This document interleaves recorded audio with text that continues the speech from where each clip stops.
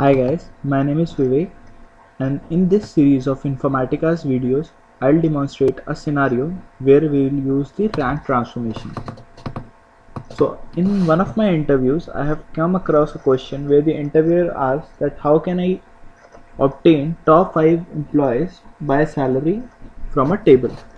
So I'll be demonstrating that through this video and there are a couple of tweaks that I'll be doing so that we can understand the rank transformation a little better and I'll provide an alternate approach to rank that we can use which is more effective and fast. So let's go about it.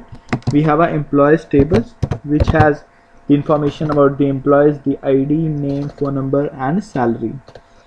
So I've already created a table employees underscore rank which has the same structure as employee table and I'll be loading the top 5 employees or top 15 employees to this particular table. So for doing a particular task there are various approaches that you can use in Informatica. So I'll be showing you a couple of approaches today. The first approach is which I personally consider more effective and fast is doing the entire operation in the source qualifier query itself so what I'll do here is I'll try to obtain only the top 15 employee from the source qualifier query itself so that I can join it directly to our target transformation and just uh, close the mapping. So we will see how we can do that. But in case if we have a flat file obviously we cannot use SQL override then in that case I'll use the rank transformation. So let's go over the video first so we already have the employees detail. Now I need the rank of the employees order by salary. So I, I'll be using the analytical function rank here and I'll order by salary descending.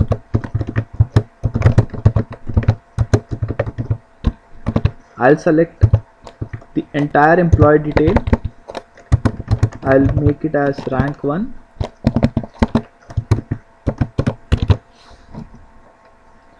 so if you see I've obtained the rank and its order by salary descending. So I want to select top 10 employees say. So what I'll do is I'll just write a parent query on this. That select all the details from the child query where rank 1 is less than equals to 10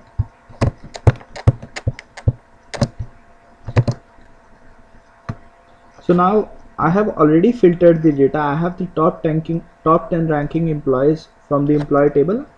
I don't need to process any additional rows in Informatica. The entire job was done in the source qualifier itself. The only thing is I have an extra column rank over here which I just showed for displaying purpose to you guys. Now what I'll do is I'll use the column name explicitly in my upper query so that I don't have this column anymore. I'll run the query just for your reference. So now we have the top 10 employees. Now all we need to do is put this step top 10 employees into the employer rank function. So let's do one thing. Let's create a mapping and see how we can do that.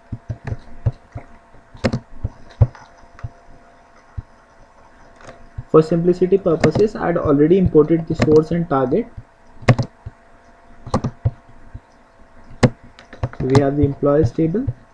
Let me create the mapping name as mapping test rank. Let's say rank 1. Let me get the target also the target is employee rank. Now all we need to do is we just need to get all the things from source qualifier to target and we just need to override the source query. So let's do it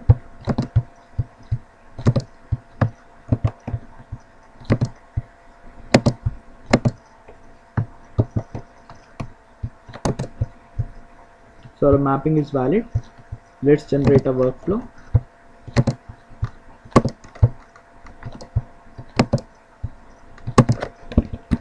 When you are generating the workflow please make sure you have specified the connection object. Otherwise your workflow will fail.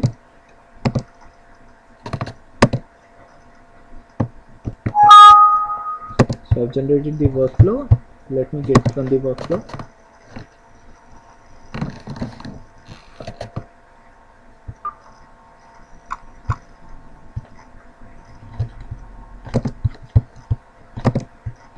So my workflow name is sm so this is my workflow.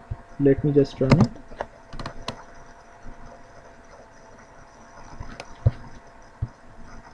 My workflow is running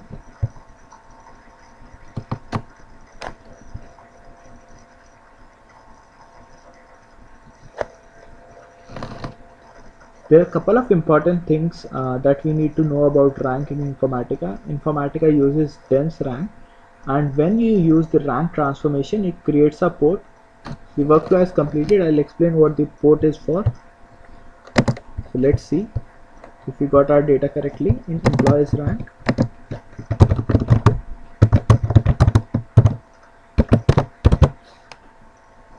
So we got the 10 rows.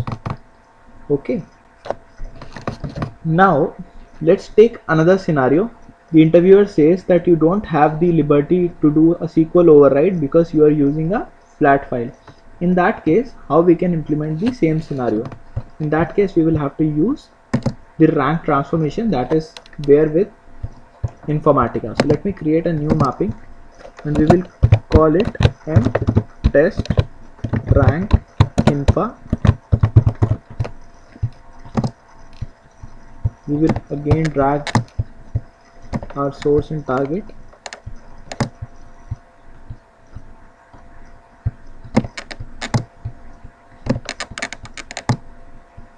Remember we have already populated this table employees dot rank so let me truncate it first.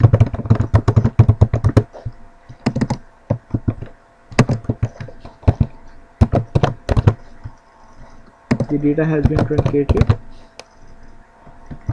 let's go back to our mapping.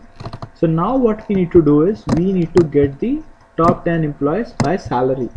So the simple con concept is that we need to order by salary and we need to get the top 10 employees. So here what I'll do is I'll use a rank transformation. So by default as soon as you create the rank transformation it creates a port rank index. What is the purpose of this port? This port actually stores the ranking that is used by integration services. So corresponding to a row what is the rank? This is stored in this particular variable. So let's go to ports and let's order by salary and select the top 10 so from here we will get the top 10 salaried employee and just connect it to the target.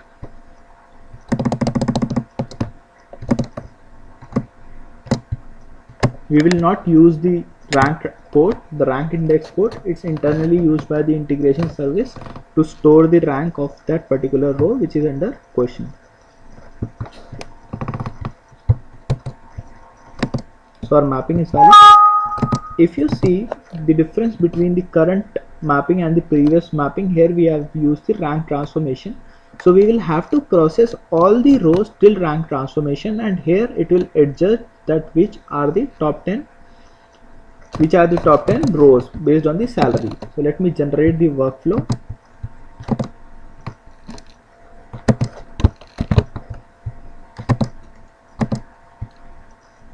The workflow has been generated. Let me just disconnect and reconnect so here the workflow name is workflow underscore s underscore m test rank infa let me start the workflow. The workflow is running.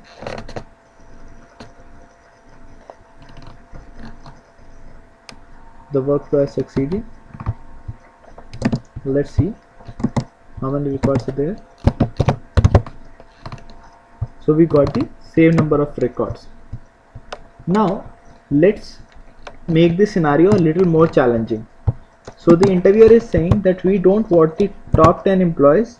Rather we want the employees which have salary between 5 to 10 so the query that we had written in our source qualifier in my previous mapping if we go there it's very easy to alter. Here if you see we had written this query.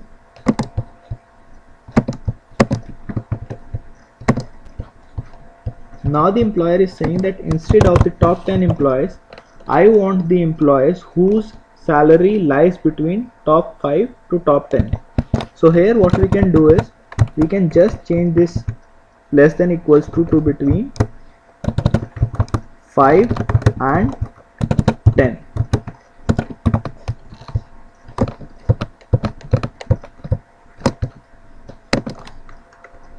and we will get our value. But this is not the case with the rank transformation. Rank either can provide you the top values or can provide you the bottom values. So let's see how we can deal with this scenario in case if the interviewer is asking that we want employees whose salary lies between top 5 and top 10 so for our first mapping we can just update our query with this query rank one between 5 and 10 we can just save it. We need to update our session.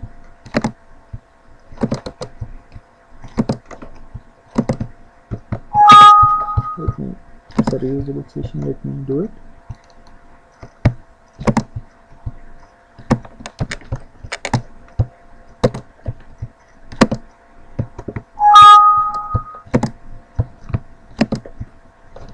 okay let me run it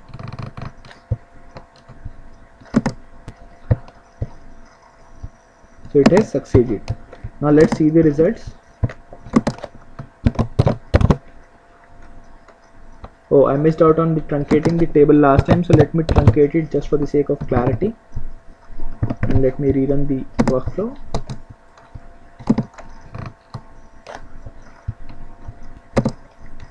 The workflow has succeeded. So we should get rows between 5th and 10th, 10th ranking. We got the 6 rows okay. Now in case if we need to perform the same operation in case of a flat file where we have not overridden by the source qualifier query. So as I mentioned in a rank transformation we only have the option of top or bottom. So if you see the rank transformation in properties you have only the option of top and bottom. So you cannot select in between. So what you need to do here is you need to add another rank transformation. So you have selected here top 10 and you have to add another transformation here and you have to select bottom 5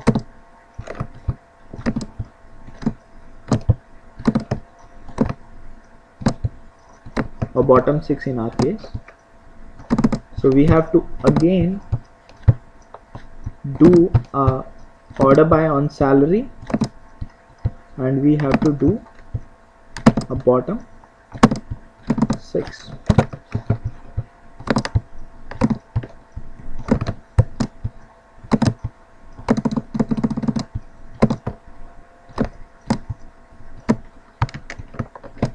just connect the ports.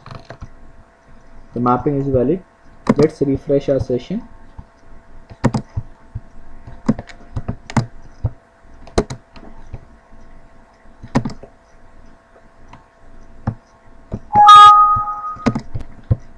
okay let's run our workflow.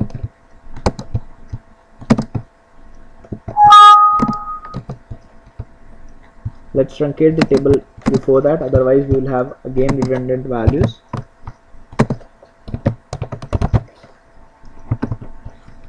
Let's run the workflow.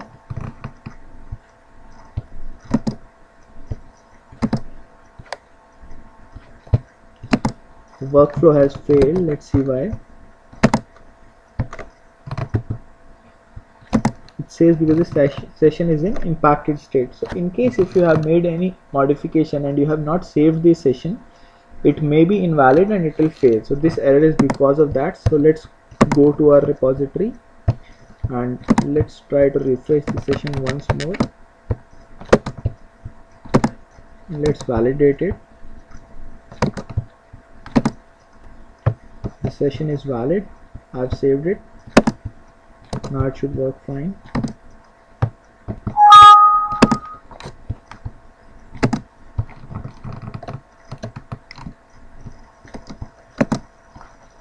if you see the session has been impacted. The failure was because the session was in impacted state. Now the workflow and session have succeeded. Now we should see our rows accordingly.